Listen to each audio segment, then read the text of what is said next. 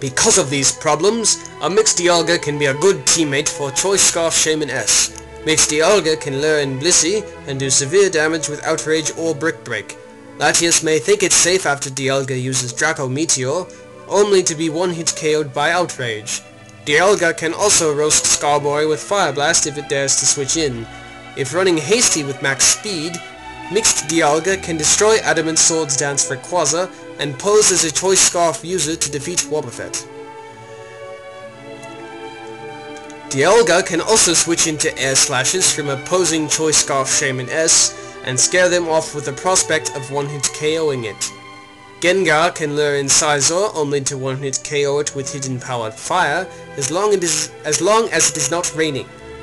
Life Orb Gengar can also one-hit KO Rayquaza with Icy Wind, assuming Stealth Rock is in play, for Shaymin S if Rayquaza attempts to set up a Swords Dance.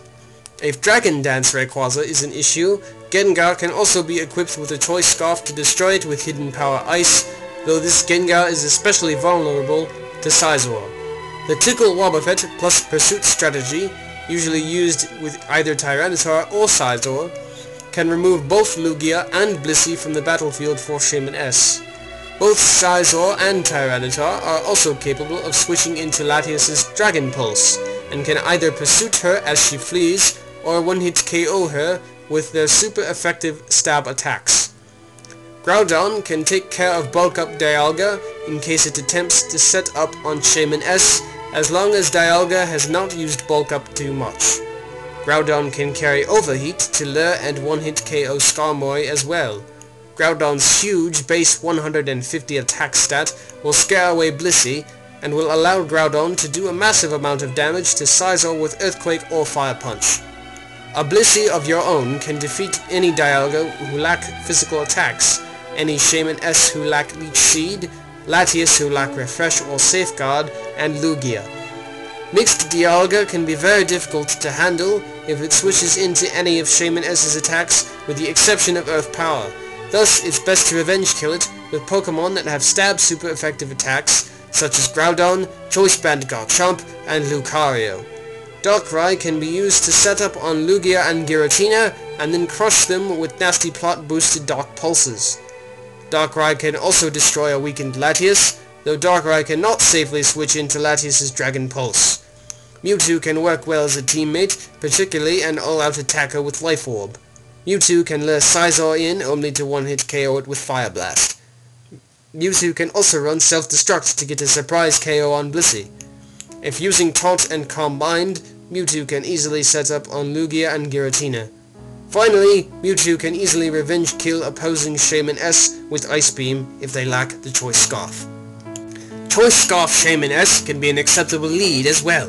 Thanks to Choice Scarf, Shaymin S is able to outspeed Deoxys S and 2-hit KO it with Air Slash. At the worst, Deoxys S will only be able to set up one entry hazard, assuming Air Slash does not miss, and at best Deoxys S will be unable to get any entry hazards up against Shaymin S due to a flinch from Air Slash.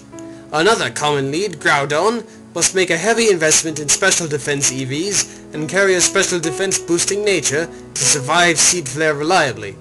Something to note about lead Choice Scarf Shaymin S is that it often relies on Air Slash's flinch rate to beat other leads. For example, Shaymin S must flinch Deoxys A, or else Deoxys A will one-hit KO Shaymin S with Ice Beam.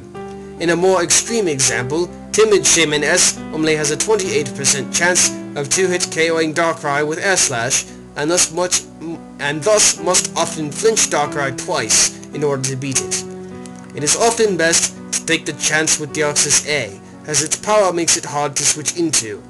Darkrai, on the other hand, can be dealt with by a Sleep Talk Kyogre, when using lead Choice Scarf Shaymin S, Hidden Power Fire is a viable option as it will not only destroy Scizor leads, but it will also one-hit KO any Forretress or Skarmory switch-ins as well. The main problem with Hidden Power Fire is that it requires Shaymin S to lower its speed IV to 30, meaning that opposing Choice Scarf Shaymin S will beat you. There are also several leads that will almost always beat Shaymin S. A Choice Scarf Mewtwo will outspeed Shaymin S and can one-hit KO it with Ice Beam, Although, although Kyogre may be weak to Seed Flare, a 252 HP Kyogre lead will always survive it and then one-hit KO Shaymin S with Ice Beam. Lead Dialga can take an Earth Power and then one-hit KO Shaymin S back with Draco Meteor. Scizor leads can also give Shaymin S that lack hidden power fire trouble as it is 3-hit KO'd by Bullet Punch. Tyranitar leads can take a Seed Flare thanks to the Sandstorm special defense boost and one-hit KO Shaymin S with Stone Edge. Blissey can be a good partner for a lead Choice Scarf Shaymin S as it can easily wall lead Kyogre, Dialga and Mewtwo. Groudon can switch into Tyranitar Stone Edge and one-hit KO most with Earthquake, while Scizor will take a severe amount of damage, or will be one-hit KO'd by a Fire-type attack. Although Draco Meteor will do a huge amount of damage to Groudon, the thought of Stab Earthquake will often scare Dialga off. While Palkia and Latias can destroy Kyogre, be warned that several lead Kyogre carry Thunder Wave to take advantage of these switch-ins.